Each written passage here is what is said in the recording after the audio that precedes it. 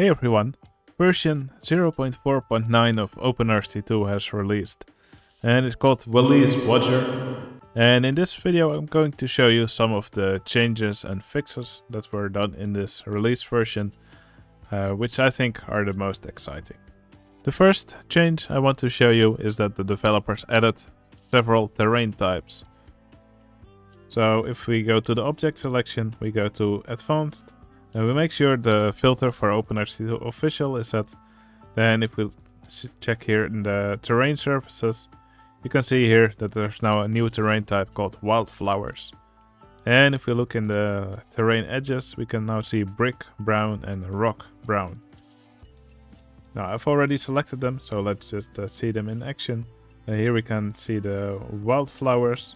I'll just paint a bit of the terrain in it.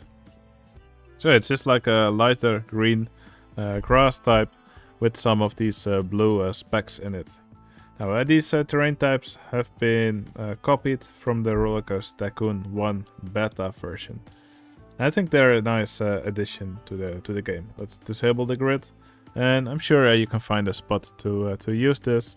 Um, myself, um, yeah, I, I, already tried it out, for example, under some of these plants and when you use that it just makes it look a, little bit more um, overgrown, like there's more foliage here. So uh, I think that's uh, definitely a useful land type. But I'm sure you can find other spots where you uh, can use this terrain type as well. Now um, there's also some uh, wall edge edges. So here we have the brown bricks. Now um, I can't really think of a situation where I would use this, but I'm sure you can find a spot where it looks nice. Now and then there's also the um, the brown rock type and it uh, looks exactly like the ice land edge except uh, recolored. And I can definitely see myself using this in, uh, in uh, some spots of the park. For example here we have this uh, some of these rocks. I think it looks especially nice with these uh, this alien terrain terrain type. But yeah this is definitely the change that's most exciting for me now let's go over some of the other changes. Alright, um, some Rollercoaster Tycoon 1 scenarios, including Forest Frontiers, have some pre-placed uh, buildings, like these uh, mine team scenery buildings here, that you are not uh, allowed to place. Um, even if you would enable all mine team scenery uh, in this scenario through the object selection, you're still not able to place them, and that's because these are restricted objects. Now, and previously you would only be able to place them uh, by going into sandbox mode. And then you see the question mark uh, yeah, list here. And then you can see these objects and now you are able to place them in your park. Until you disable sandbox mode again, then you're no longer able to place them. Now, um, a UI uh, element was added to allow you to control this. So, for example, if I um, select any of these objects here, you can now see a restrict button and the restrict option has been set for these objects. So uh, I can now uh, disable this like so. And then we'll disable sandbox mode. And now we're in the scenery uh, menu. Now you can see we can now place these objects and they, have, they are no longer restricted. So how is this useful? Well, if you're in sandbox mode or you are creating a scenario for someone and you want to place some stuff in the scenario that you don't want the user to use in the scenario for some reason, then you can uh, simply uh, restrict those objects. You can restrict any object from this list if you wish to do so. Okay, uh, another change that has been made is that uh, guests can now spawn with more colors. So I just did a Thanos in this park and eliminated most of the guests. And so we should see uh, uh, the maximum number of guests spawning. So uh, quite recently, well yeah, I say recently, but it's already uh, uh, been a while now. Time flies when you're playing this game. Um, more colors were added to the game, but the guests didn't spawn with these new colors yet. So um, yeah, now code has been added to uh, actually allow the, guests to spawn with most of these colors. So uh, the trouser colors are still uh, a small set of these uh, colors. You probably won't see any uh, guest spawn with bright red trousers, but um, uh, most of these colors uh, have now been actually been added to the guest shirts. I don't think we will actually see guests with the invisible color. Alright, another thing that has been changed is that you are now able to build one element partially underground. So that's for the Heartline Twister coaster. Um, normally you wouldn't be able to build this element uh, like this because um, yeah normally if you wanted to build an element underground it had to be a whole yeah it had to be fully underground but now um, just for this element you're uh, able to build it through, partly through a through a tunnel like this um maybe in the in the future this will be added for more elements which have the proper drawing code. But for now uh, it's only for this heartline uh, uh, roll. I think this is a, a pretty fun change and I'm curious to see for uh, which other elements this will be added in the future. Alright, for the next change I'm going to visit Mega World Park. And the next change is that for most Rollercoaster Tycoon 1 vehicles um, the original vehicles have been imported into the game. Now um, you uh, won't be able to place uh, a lot of these vehicles in your park but they will be there when you import them, uh, when you import a RCT1 scenario into your game. Now I've chosen Mega World Park here because um, uh, it already has a lot of pre-built uh, vehicles. And for example here you can see these the mine train vehicles. Now um, how can you recognize a Rollercoaster Tycoon 1 vehicle? It's that um, I believe RCT2 vehicles have uh, 32 sprites for a rotation and Rollercoaster Tycoon 1 vehicles only have 16 sprites for a rotation. So uh, they look a little bit more uh, more janky. For example, they don't really look like they uh, actually traverse these rails uh, pretty well. But yeah, um, I think this uh, does give you a nice Rollercoaster Tycoon 1 feel when you open these scenarios in Rollercoaster Tycoon, or in, when you open these scenarios in OpenRCT2. Now, um, how does this look in the object selection. So here we are in the object selection. Um, I will disable OpenRCT2 official and we just select Rollercoaster Tycoon 1 here.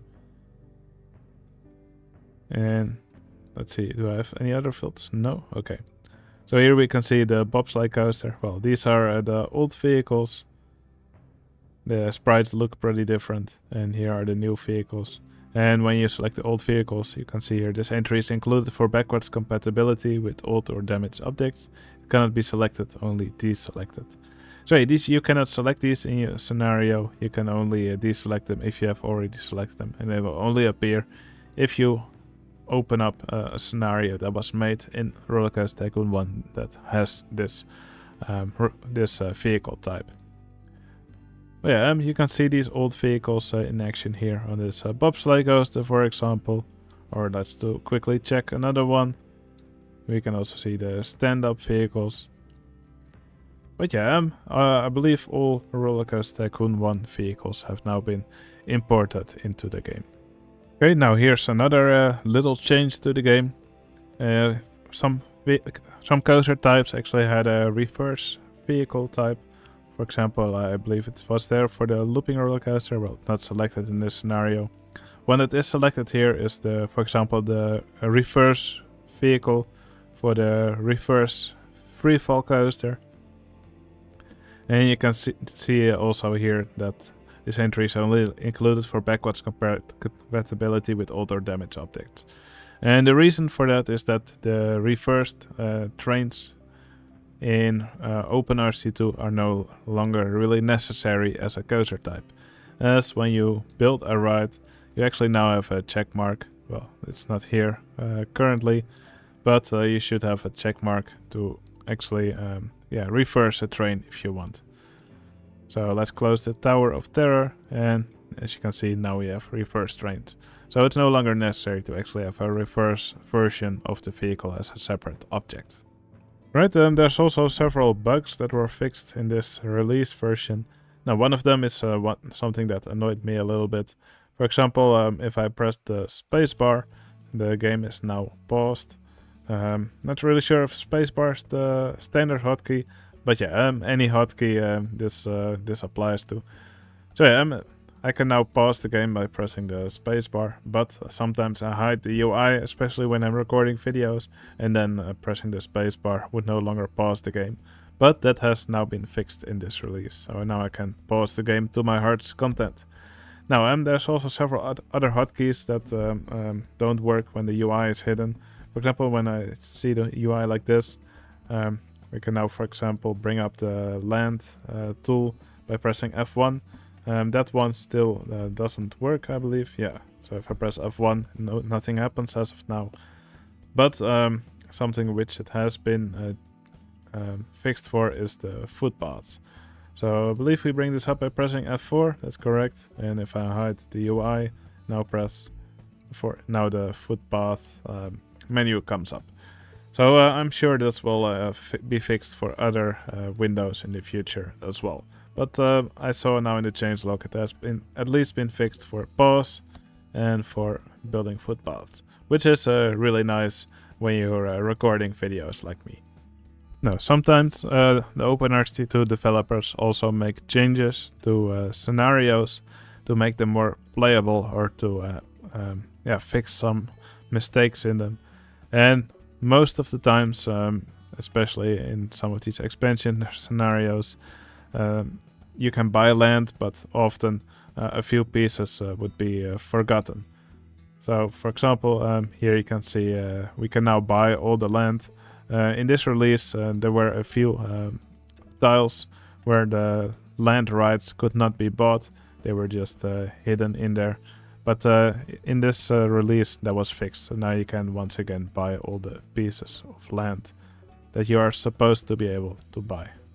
Now, um, those were not the only things which have been changed or fixed.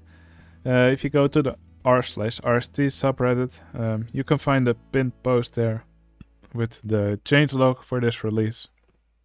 And if you scroll down a little bit, you can um, find a link to the OpenRCT2 GitHub. And there all the features and improvements and fixes are once again listed with a useful link to either the issue that has been fixed or to the pull request in which that um, was fixed, so you can see more details about what was changed.